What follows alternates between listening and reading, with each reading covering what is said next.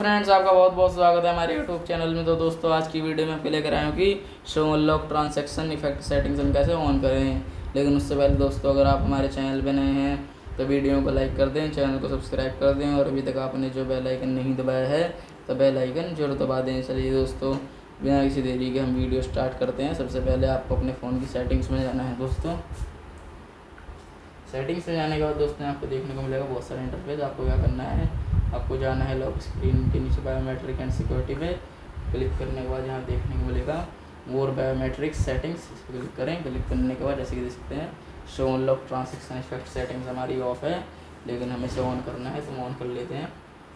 जैसे कि देख सकते हैं show on lock transaction effect settings हमारी ऑन हो गई है। अगर आपको दोस्तों वीडियो पसंद आई हो तो वीडियो को लाइक कर दें चैनल को सब्सक्राइब कर दें और अभी तक आपने बेल आइकन नहीं दबाया है तो बेल आइकन ज़रूर दबा दें। मिलते हैं नेक्स्ट वीडियो में। Thank you I see in the next video